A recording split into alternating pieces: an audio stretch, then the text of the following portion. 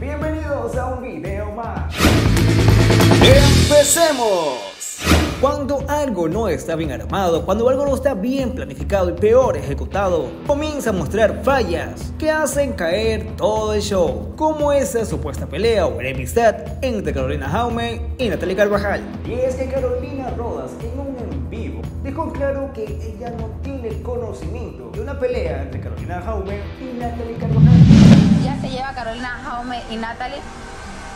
Siempre se llevaron.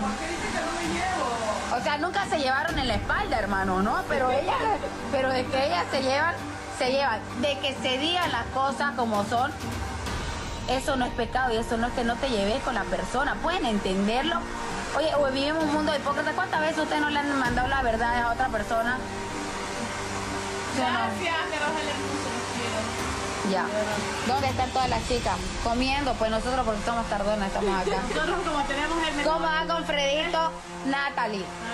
Yo le tengo que mostrar otro secreto. Yo voy a contar un secreto. Natalie es peor que perro.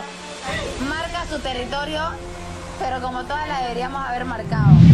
¿Será que habló de más o simplemente ella no conoce esa táctica para aumentar el rating del poder del amor acá en Ecuador?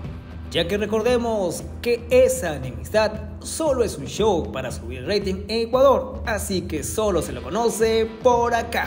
Y es que realmente no está pegando como todos quisieran esta segunda temporada. Y la opinión es de muchos seguidores, presentadores de farándula e incluso de una ex participante. Y es que Melissa Gate opinó sobre esta, como muchos dicen, aburrida temporada. No, está más prometedora la primera temporada, lo que hacen los participantes fuera de la casa que la segunda temporada. No, no gusta, no gusta y qué lástima porque pues nunca van a igualar a la primera, nunca van a igualar a la primera. Mencionan en TikTok incluso hacen comparaciones de personajes. Por ejemplo, ustedes comparan con su propia, la, la colombiana que está allá también. Eh, como lo dijo ella también en una entrevista, el hecho de que tengamos tatuajes no quiere decir que nos parezcamos. Yo soy una mujer muy inteligente, divertida, apoteósica, regia, bichota, bendecida y afortunada. Si tienes que poner del 1 al 10 la segunda temporada, ¿cuál, qué, Le pongo menos cero, son unos buenos para nada. Le pongo menos cero, son unos buenos para nada.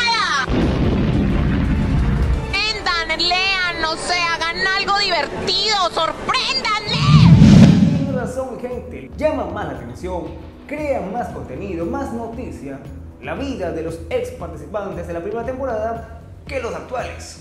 Y es que el tiempo avanza y aún no logra despuntar tal como lo hizo en la primera. Y como dijo Melissa, seguimos más pendientes o más interesados en lo que hacen los ex participantes de la primera temporada. Pero esa es solo mi opinión.